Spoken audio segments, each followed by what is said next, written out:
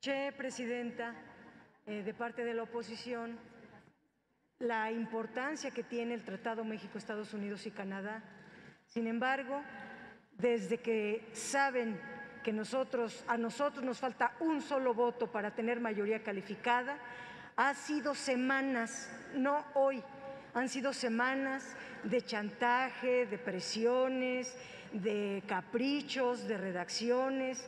Todo el día de hoy han estado cambiándole una coma, una letra, una palabra, se les ha accedido en todo, ya no hay manera de seguirles dando gusto.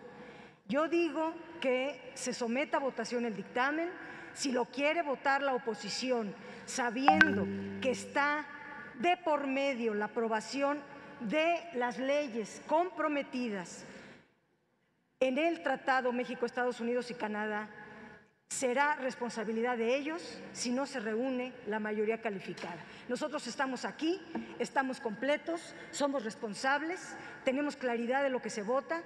Adelante, Presidenta. Gracias.